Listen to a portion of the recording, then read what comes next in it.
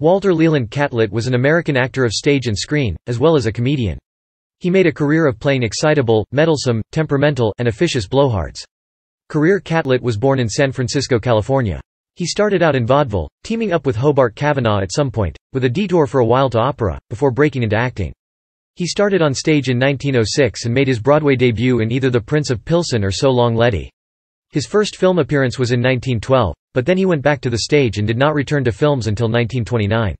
He performed in operettas and musicals, including the Ziegfeld Follies of 1917, the original production of the Jerome Kern musical Sally and the Gershwin's Lady, Be Good. In the last, he introduced the song, Oh, Lady Be Good. In 1918, he starred in, stage-managed and rewrote an Oliver Morosco Elmer Harris Harry Plani production titled Look Pleasant, playing at the Majestic Theatre in Los Angeles. His antics in the musical Baby Bunting in London in 1922 had King George V laughing, uproariously. Catlett made a handful of silent film appearances, but his film career did not catch on until the advent of talking pictures allowed moviegoers to experience his full comic repertoire.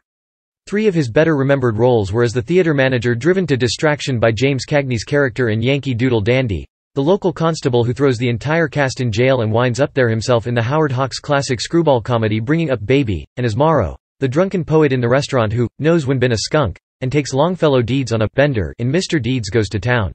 He was also widely reported to be Katharine Hepburn's comedy coach while filming Bringing Up Baby.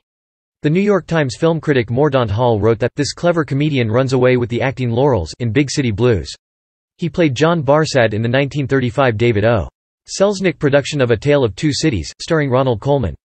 He also provided the uncredited voice of J. Worthington Foulfellow the Fox, the main villain in the 1940 Disney animated film Pinocchio.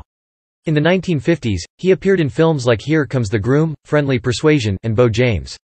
For his contributions to the film industry, Catlett was inducted into the Hollywood Walk of Fame on February 8, 1960 with a motion picture star located at 1713 Vine Street.